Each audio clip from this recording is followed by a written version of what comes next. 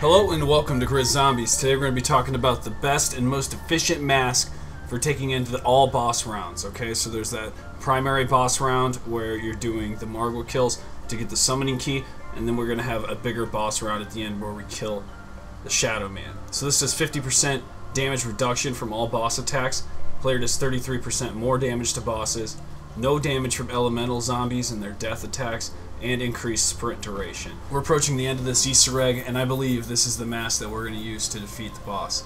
You're going to shoot him in the chest and destroy his chest piece first. Upon disabling the Panzer Soldat's chest piece, you'll hear an activation noise. This noise means you're done, and you can move on to the next step. The next one is shooting the face mask or the helmet off.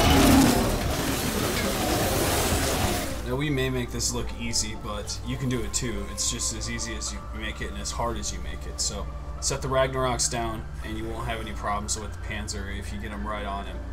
Next thing is getting 50 Flogger kills. I would say anywhere between 25 and 50. It's a little hard to tell. It's very much like this.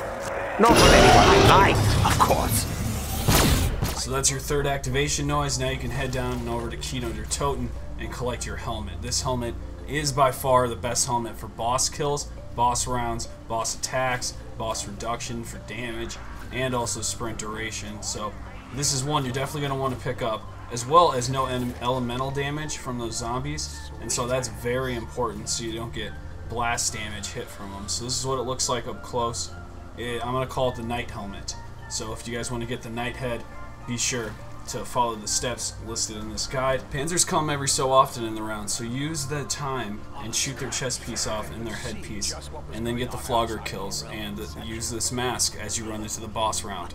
Hopefully you guys learned something today. If you did, be sure to leave a like and subscribe for zombies content.